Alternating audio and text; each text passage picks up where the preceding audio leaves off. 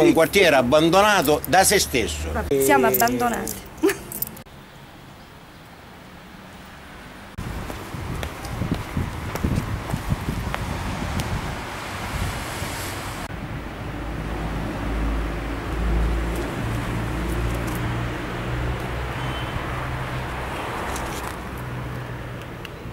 Entrano da questo buco che c'è qua, entrano, vanno nella palestra che c'è alla Manzoni e giocano a pallone. E poi tirano giù le pietre, parolacce, sono bambini che non vanno a scuola, sì sì. Io rientravo da lavoro, poi era un tossico, ubriaco, non lo so. Comunque ero arrivata qua già. Ma, Mi ha trascinata a terra, giù per le scale, malmenata. Alla fine poi non si è, preso, la borsa perché gliel'ho data. La zona sta diventando terribile. Terribile, proprio esageratamente. Anche prima, voglio dire, anche quando c'era il centro sociale, Ma non, per- non le cose non succedevano, sì, forse anche oggi, peggio. Oggi è, è ancora in... Eh, quelli facevano da dopo scuola, quelli facevano là, poi c'erano là delle persone, c'è pure il tappeto dove fanno a pugni, il coso, il pugilato. Quindi vi è dispiaciuto che lo chiudevano l'Esperia? Così. Le persone del quartiere si lamentano, c'è gente che lancia le pietre sulle persone che passano. No, noi no.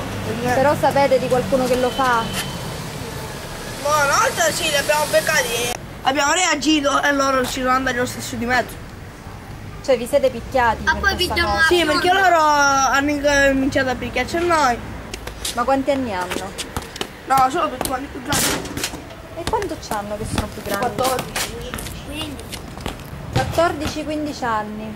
E vengono con i motorini qua. Sì. Infatti che è successo l'altra sera che dei ragazzini per gioco hanno incendiato un'automobile parcheggiata di fronte qui al pronto soccorso.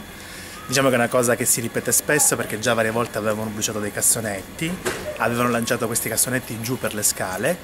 E eh, diciamo quindi che è una zona già a rischio da tempo, soprattutto da quando hanno chiuso l'Experia, che era un centro sociale dove comunque c'erano dei ragazzi che li controllavano, li facevano giocare, invece questi bambini adesso si ritrovano senza avere uno spazio pubblico e quindi saltano in pratica il, il muro, entrano in questo retro della scuola e di norma giocano a calcio, però alcuni di loro, visto che non hanno nessun tipo di controllo, poi si divertono a fare questi atti di vandalismo, eh, buttando anche, lanciando anche le pietre ai passanti e cose di questo tipo. Sono ragazzini da- che vanno dai, dagli 8 anni ai 16. L'altra volta anche al mio coinquilino, proprio qui nelle scale, due ragazzini facevano tipo, avevano pensato di rubargli il marsupio, tant'è che lui si era messo a tracollo e ha detto vieni, vienilo a prendere, quindi è evidente che succede pure. Facevamo dopo scuola a tutti quei bambini che comunque andavano a scuola e volevano in qualche modo essere promossi.